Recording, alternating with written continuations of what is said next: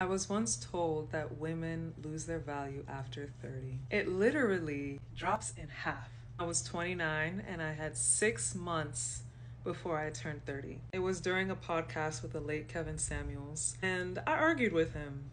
I got pissed off with him. I couldn't help but think about what my boyfriend at the time was thinking because he was a huge Kevin Samuels fan. Anyway, today happens to be my 31st birthday. That boyfriend and I broke up. I got over a year of therapy, started doing music, started doing my own nails, taught myself how to sew so I can better my swimsuit company, started my passion projects of giving back. Honestly, I don't know what value he was referring to. I'm pretty sure it was something about being in the dating marketplace or some bullshit. Let me tell y'all something. I don't give a fuck what y'all think about my value because I place value on myself.